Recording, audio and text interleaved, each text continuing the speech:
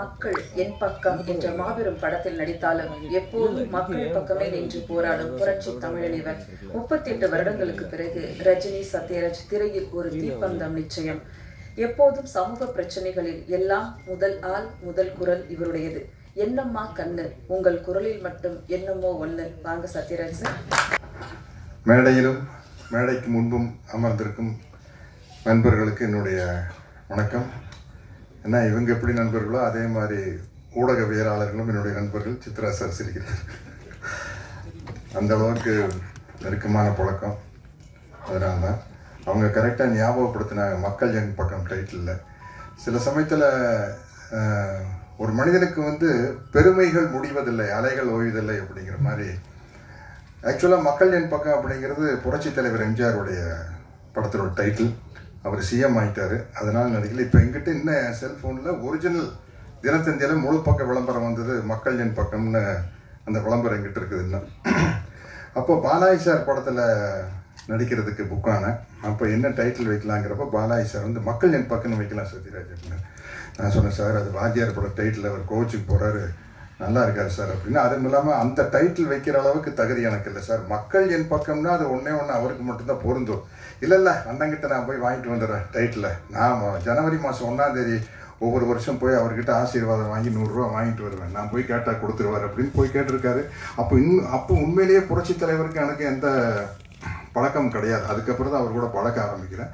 யார் ஹீரோன்னு கேட்டார் சத்யராஜ். ஒன்று வச்சுக்கங்களேன் அப்படின்ட்டாரு. அப்படி வந்து அவருடைய டைட்டிலில் நடிக்கிற வாய்ப்பு கிடைச்சி லூட்டின்னு ஒரு படத்தில் கம்ப்யூட்டர் கிராஃபிக்ஸ் மூலமாக நானும் தலைவரை மீட் பண்ணுற மாதிரி ஒரு சீன் வரும் லூட்டியில். நம்ம துரசார் படம் அதில் வந்து ஒரிஜினல் படத்தில் வேறு வசனம் இதில் வேறு வசனம் பேசணும் வாத்தியாருக்கு. மயில்சாமி தலைமையில் பல மிமிக்ரி ஆர்டிஸ்ட் வந்து பேசி பாட்டும் ஒன்றும் சரிப்பட்டு வரல. ஏவிஎம் கார்டன் தேட்டரில் மயில்சாமி சொன்னாப்புல கரெக்டாக சத்யராஜனை கூப்பிடுங்க அவர் தான் கரெக்டாக பேசுவார் தலைவருக்கு அப்படின்னு சொல்லி போய் அந்த சீனில் எனக்கு நானே பேசிட்டு புரட்சி தலைவருக்கு நானே டப்பிங் பேசிட்டேன். அவருக்கு டப்பிங் பேசின ஒரே ஆள் நானாக தான் இருக்கு ஏன்னா குண்டடிப்பட்டதுக்கு அப்புறம் கூட குண்டடிப்பட்டதுக்கு அப்புறம் கூட அவர் சொந்த குரல் தான் பேசினாரு. நிறைய வித்தியாசம் இருக்கு. காவல்காரனில் பார்த்தீங்கன்னா பாதி படம் முக்காவாசி படம் வந்து ஒரிஜினல் வாய்ஸில் இருக்கும். ஒரு ரெண்டு மூணு சீன் தான் வேறு மாதிரி வாய்ஸில் வரும். டப்பிங் பேசினேன். அதே மாதிரி இன்னொரு பெருமை எனக்கு கிடைச்சது நடிகர் தலைவர் சிவாஜி அவர்கள் நடிக்காத கேரக்டரே இல்லை. ஒரு போலீஸ் டிபார்ட்மெண்ட்னாலும் கூட கான்ஸ்டபிள் சப் இன்ஸ்பெக்டர் இன்ஸ்பெக்டர் ஐஜின்னு எல்லா கேரக்டர்லையும் நடிச்சிருப்பார். ஒரு சட்டம் சம்மந்தப்பட்ட படம்னா ஜூனியர் வைக்கல் சீனியர் வைக்கல் ஜட்ஜ் வரைக்கும் நடிச்சிருப்பார். அவர் ஆசைப்பட்டு நடிக்க முடியாத ஒரே கேரக்டர் தந்தை பெரியார் கேரக்டர் தான். அதில் நடிக்கிற ஒரு வாய்ப்பு எனக்கு கிடைச்சிருச்சு. இன்னைக்கு என்னுடைய ஆறுயிர் நண்பன் விஜயகாந்த் நடிக்க வேண்டிய ஒரு கேரக்டரில் நான் நடிக்கிறதுக்கான வாய்ப்பு கொடுத்த தனஞ்சயன் சாருக்கும் விஜய் மட்டன் அவர்களுக்கு என்னுடைய டைரக்டருக்கு என்னுடைய மனமார்ந்த நன்றி தெரிவிச்சுக்கிறேன். ஏன்னா அவ்வளவு நட்பு. விஜயகாந்த் சாரை பற்றி நான் பேசுனா அன்பு நண்பன் விஜயின் தான் நான் சொல் தான் கூப்பிடுவேன்.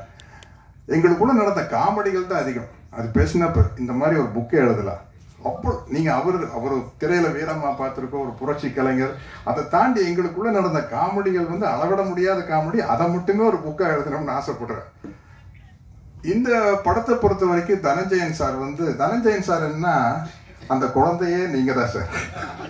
அவர்கிட்ட பாருங்க அவர் முகத்துல பாருங்க அந்த ஒரு அந்த குழந்தையே நீங்க தான் சாருங்கிற ஒரு முகம் வச்சிருப்பாரு.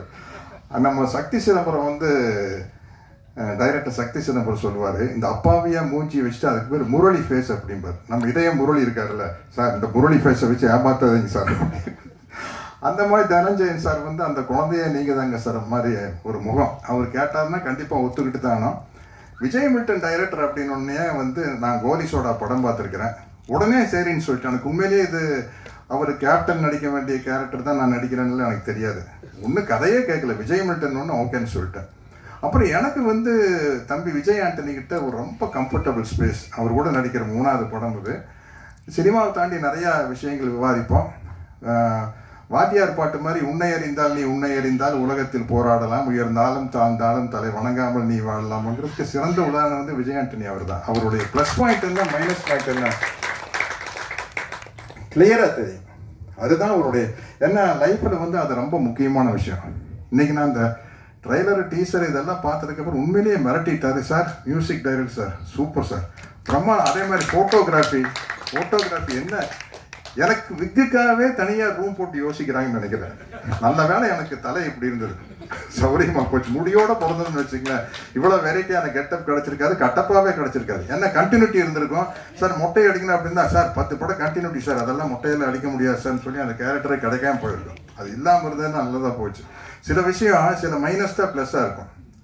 இப்போ எனக்கு கடவுள் நம்பிக்கை இல்லாதனால நிறைய பேர் பேசல சாருக்கு இல்லை அவருக்காக நாங்கள் வேண்டிக்கிறோம் அப்படிம்பாங்க. கடைசியில் போட்டால் எனக்காக வேண்டிக்கிட்டது வந்து எக்கச்சக்கமான ஆளுங்க. என்னை தவிர எல்லாரும் வேண்டிக்கிறாங்க. கடவுளுக்கு என்ன பிடிக்கும்? கடவுளுக்கு ஏன் என்ன பிடிக்குன்னா அவரை நான் டிஸ்டர்ப் பண்ணுறதே இல்லையில அப்ளிகேஷன் அப்ளிகேஷனா போடுறது. ஏன் படம் ஒன்றும் ஏன் படம் ஒன்றும் ஏன் படம் ஒன்றும் அந்த ஆள் என்ன செய்வார்? ரெண்டு பேர் எலெக்ஷன் நிற்கிறாங்க ரெண்டு பேர் போய் பூ தேங்காய் பழத்தோடு போய் சாமி நான் தான் ஜெயிக்கணும் அப்படின்னு அந்த கன்ஃபியூஸ் ஆயிருப்பாரு யாரோ ஒருத்தர் தாங்க ஜெயிக்க முடியும். அதாங்க இயல்பு. Praying is nothing but talking God கடவுளை நீ கடவுள்கிட்ட நீங்கள் கட்டளை இடுறீங்க எப்படியாச்சும் என் படம் ஓடணும் அப்படின்னா வேண்டுதல். எப்படியாச்சும் என் படம் ஓடணும். ரெண்டு ஒன்று தானே டயலாக் தான் எப்படியாச்சும் என் படம் ஓடணும் அப்படிங்கிறது தான். பாடி லாங்குவேஜ் தான் வேறு. அப்போ கடவுளுக்கு வந்து என்ன கோபம் வரும்னா டே நீ யாரா என்ன கரெக்ட் கரெக்ட் பண்ணுறக்கு எனக்கு தெரியாதா? உனக்கு என்ன கொடுக்கணும்? உனக்கு என்ன நடக்கணும்ட்டு அவன் பாருங்க சத்யராஜ் பாருங்க. அவன் பாட்டுக்கு போயிட்டே இருக்கான். ஏதாச்சும் நம்மளை டிஸ்டர்ப் பண்ணுறானா ஆ? எனக்கு டிக்டேஷன் கொடுக்குறானா? கமெண்ட் பண்ணுறானா என் மேலே தப்பு கண்டுபிடிக்கிறானா? பிரேயன் தப்பு கண்டுபிடிக்கிறதா? ஏய் நீ செய்கிறது சரியில்லைப்பா. இப்படி செஞ்சுருக்கணும். அப்படிங்கிறது கடவுள் மேலே தப்பு கண்டுபிடிக்கிற மாதிரி அதனால் அதனால வந்து எனக்கு அவர் என்ன என் மேலே அவருக்கு ரொம்ப பெ- தெரியும் இந்த இல்லை இந்த எல்லா படத்தையும் புகழ்ற மாதிரி இந்த படத்தை புகழ்றேன்னு நினச்சிக்காதீங்க. உண்மையிலேயே நீ- உங்களுக்கே தெரியும் இந்த படத்தினுடைய டீசர் தான் ட்ரெய்லர் எனக்கு அதெல்லாமே தெரியறது இல்லைங்க. என்னமோ காலையில் கிளம்பி போய் டோப்பா தூக்கி தலையில் வச்சு நடிக்க போயிடுது. ஒன்றுமே தெரியறது இல்லை. இந்த சஜஷன் சொல்லிட்டு இருப்பாங்க. அது ஒரு காலத்தில் ஆபாவனம் அரவிந்த் ராஜெல்லாம் வந்து இன்ஸ்டியூட் பசங்கள்லாம் வந்ததுக்கப்புறம் வந்ததுக்கு அப்புறம் பச- அப்போ பசங்க. ஓவர் த ஷோல்டர் ஷாட் இல்லை? ஓஎஸ்எஸ் தாய்நாடு நடிக்கல ஓஎஸ்எஸ் ஓஎஸ்எஸ் யாருக்கிட்ட போய் கேட்குன்னு பக்கத்து ஃப்ளோரில் ஏவிஎம்ல விஜயகாந்த் இருந்தார். போய் விஜய் நீங்கள் தான் ஏற்கனவே இங்கே நடிச்சிருக்கீங்களா? அது என்ன ஓஎஸ்எஸ் எனக்கு அப்படித்தாங்க சத்யராஜ் முதல்ல பெரிய கன்ஃபியூஷனுங்க அது ஒன்றும் இல்லைங்க. சஜஷன் ஷாட் சத்யராஜ் அதை போய் இவங்க பெரிய பிரச்சனையாக்கிட்டாங்க. அந்த மாதிரி இன்னைக்கு சினிமா வந்து மாறிக்கிட்டே இருக்குது. புது புது விஷயங்கள் வந்துட்டு இருக்கு. நான் இன்னும் சினிமாவில் ட்ராவல் ஆகிறதுக்கு காரணம் வந்து மழை பிடிக்காத மனிதன் மாதிரி நான் வந்து பிக்சேஷன் பிடிக்காத ஒரு மனிதன். இந்த நேரத்துக்கு எதுவும் அதான். இப்படி கூட சொல்ல லட்சியம் பிடிக்காத மனிதன். என்ன குறிப்பிடு இப்படி போறது? அந்த பக்கம் கதவு இருந்தா அப்படி போறது. அங்க சேவர் இருந்ததுன்னா லெஃப்ட்ல கட் பண்ணி பாருங்க ஆனா அங்க ஒரு கதவு இருக்குப்பா. அப்படி. நமக்கு எப்படியோ வெளியில போனா தான் முக்கியம். அதனால எப்படியோ வாழ்ந்தாகணும் அப்படிங்கிறதா. கொஞ்ச நாளைக்கு பிடிவாதமா இருந்த வில்லனா நடிக்கூடான்ட்டு இப்ப பார்த்தா பகத் பாசில் ஒரு பக்கம் எஸ் ஜே சூரிய ஒரு பக்கம். அடிச்சு பின்றாங்க ஓ வில்லனா நடிச்சோம்னா தான் நம்ம நல்ல நடிகர்னு பேர் வரும் போல இருக்குது.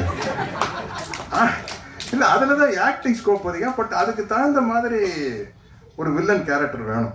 எனக்கு என்ன பிரச்சனைனா ஒவ்வொருத்தருக்கும் ஒரு ட்ரேடு மார்க்குல்ல ட்ரேடு மார்க் இருக்கும். இப்போ விஜயகாந்த் சாரை படத்தில் போட்டு செவத்தில் ஏறி வரைக்கூடாதுன்னா எப்படி? ரஜினி சார் படத்தில் வந்து ஸ்டைல் பண்ணக்கூடாதுன்னு எப்படி? அது மாதிரி சத்யராஜ்னா நக்கல் நையாண்டி லொல்லு இருக்கணும். இது வில்லனா நடிக்கையில் இது இருக்கணும்னா ரெண்டு பேர்த்துக்கிட்ட இருந்து லைசன்ஸ் வேணும். ஒன்று டைரக்டர் கிட்ட இருந்து வேணும் இன்னொன்று ஹீரோ கிட்ட இருந்து வேணும். ஹீரோ முகம் சுடிச்சா டைரக்டருக்கு பெரிய கன்ஃபியூஷன் ஆயிரு ஆ? அதனால அதனால தான் வில்லனாக நடிக்கிறது பெரிய கஷ்டமாக இருக்குது. இந்த பவர்ஃபுல்லாக இருந்தால் நடிக்கலாம். இது மாதிரி. அதில் ஒன்றும் சிக்கல் இல்லை. இப்போவும் நடிக்கிறேன். அது மாதிரி வந்து எனக்கு பலவிதமான கேரக்டர் வந்து ஏற்கனவே கொடுத்த டைரக்டர்களுக்கு தான் நான் நன்றி சொல்கிறேன் பி வாஸ் சாருக்கு மணிவண்ணன் சாருக்கு பாரதி ராஜா சாருக்கு. ஏன்னா இப்போ நான் ஒரு ஹிந்தி படம் இன்னைக்கு ஏழாம் தேதி வந்து வெப்பன் ஒரு படம் வருது. அதில் வந்து ரொம்ப டஃப் கேரக்டரு அதே ஜூன் ஏழு முஞ்சியா அப்படின்னு ஒரு ஹிந்தி படம். அதில் ஃபுல் காமெடி கிட்டத்தட்ட தம்பி வடிவேலு பண்ணுற காமெடி கேரக்டர் நான் அவங்ககிட்ட கேட்டேன் ஏங்க சவுத் இந்தியாவில் தான் சத்யராஜ் தெரியும்? உங்களுக்கெல்லாம் வெறும் கட்டப்பாவத்தான் தெரியும்? இதெல்லாம் இங்கிலீஷில் பேசுகிறேன் அதை நீங்கள் டிரான்ஸ்லேட் பண்ணீங்க. உங்களுக்கு கட்டப்பாவத்தான் தெரியும்? நீங்கள் எப்படி எனக்கு வந்து அதாவது காமெடியனாக இருந்து டஃப் ஆகிறது இல்லை. ஃபுல்லாகவே காமெடி வடிவேலுக்கு பதிலாக நான் நடித்தேன் அப்படி இருக்கேன் அந்த எப்படிங்க அப்படின்னா அவங்க ஏதோ எப்போ எடுத்த என்னுடைய படத்தில் பாட்டு சார் அதில் பயங்கரமாக காமெடி ஒர்க் அவுட் ஆயிருந்தது சார். அதனால தான் அப்படின்னு சொல்லிட்டு பாருங்கள் ஜூன் ஏழு வருது விஜய் ஆண்டனி சார். ஃபுல்லாகவே காமெடி ஆமாம் அப்படி பலவிதமா இல்லை அள்ளி தெளித்த பி. வாஸ் அவர்களுக்கும் மணிவண்ணன் அவர்களுக்கும் பாரதி ராஜா அவர்களுக்கும் பாசில் அவர்களுக்கும் ஜோஷி போன்ற இயக்குநர்களுக்கும் குருதனபாலுக்கும் எஸ். வி. முத்துராம சாருக்கும் நான் நன்றி சொல்லிக்கிறேன். ராஜசேகர் சார் தகடு தகடு காக்கி சட்டையெல்லாம் அவர் தான் சொன்னார். இப்படி பல சத்யராஜை காட்டி வச்சனால தான் இன்னைக்கு விஜய மில்டன் சார் மாதிரி ஆளுகள்லாம் எங்கிட்ட புது இயக்குநர்கள்லாம் எங்கிட்ட வர்றாங்க. அதனால அவர்களுக்கும் நன்றி கூறி இன்னும் என்னை அரவணைத்து அழைத்து செ- சென்று கொண்டிருக்கும் இந்த இன்றைய திரையுலகத்திற்கும் நன்றி கூறி விடைபெறுகிறேன். வணக்கம். மழை பிடிக்காத மனிதன் இசை வாங்கிய டெண்டு மியூசிக் ஜித்திஸ் கிருஷ்ணா அவர்களை பேச அழைக்கிறோம். ஸோ டைட்டில் மழை பிடிக்காத மனிதன். சார் வந்து என்னை கூப்பிட்டார் பிஸ்னஸ் பேசுறதுக்காக இந்த மாதிரி ஆஃபீஸ் வாங்கினேன். டைட்டில் சொன்னப்போ மழை பிடிக்காத மனிதன் சொன்னோன்னே என்ன சென்னை ஃப்ளட்டு பற்றி தான் சார் படம் எடுத்து வச்சிருக்காரான்னு சொல்லிட்டு சார் வரேன் ஆஃபீஸ் வரேன்னு சொல்லிட்டு போய் பார்த்தோம். பார்த்தோன்னே தான் சொன்னார் இந்த மாதிரி சார் விஜய் ஆண்டனி மியூசிக்கில் ஒரு படம் இருக்குது அப்புறம் அச்சு ராஜாமணி சார் மூணு பாட்டு பண்ணியிருக்காருன்னு சொன்னார். சாங்ஸ் பார்த்துருந்தோம். டைட்டில் எவ்வளோ பொய்டிக்காக இருக்கோ அது மாதிரி சாங்ஸும் நிஜமாவே பொய்டிக்காக இருக்குது மழைக்கே பிடிக்கிற மாதிரி வராத வான்மழைன்னு ஒரு பாட்டு இருக்குது படத்தில். அதே மாதிரி மனிதர்களுக்கு எல்லாருக்கும் பிடிக்கிற மாதிரி ஒரு மூணு பாட்டு. டான்ஸ்க்கு தேவையா? டான்ஸ்க்கு ஒரு பாட்டு விஜய் ஆண்டனி சார் போட்டிருக்காரு. அதே மாதிரி ஒரு ரெண்டு சாங்ஸ் அதே மாதிரி அச்சு ராஜாமணி சார் வேற மூணு சாங்ஸ் போட்டிருக்காரு. ஸோ சாங்ஸ் எல்லாமே நல்லா இருக்கு. வீடியோ சாங்காக நான் பார்த்தேன். முக்கியமாக அந்த டைட்டில் ஃபாண்ட்ல இருக்கிற பிளேட் அந்த மாதிரி சின்ன சின்ன நுணுக்கங்கள் இருந்தது. நாய் குட்டி ஒன்று இருக்கும் அந்த படத்துல சாங்ஸ்ல அது ரொம்ப பொயட்டிக்காக நிறைய மாண்டாக் சீன்ஸ் பார்த்தேன் சாங்ல ஃபர்ஸ்ட் வராத வான்மழையில. ரொம்ப பொயட்டிக்கா இருந்து கண்டிப்பாக இந்த படம் தேட்டரில் ரொம்ப பிளாக் பஸ்டர் ஹிட் ஆகும்னு எதிர்பார்க்குறோம். டென் மியூசிக்கும் இது ஒரு நல்ல படமாக அமையும்னு ரொம்ப நம்பிக்கையோடு இருக்கும். எல்லாரும் படத்தை தேட்டரில் வந்து சப்போர்ட் பண்ணுங்க. இன்னைக்கு ஈவினிங் டென் மியூசிக்கில் டீசர் லான்ச் பண்ணுறோம் எல்லாரும் டீசரை யூடியூப்பில் பாருங்கள் நன்றி. தேங்க்யூ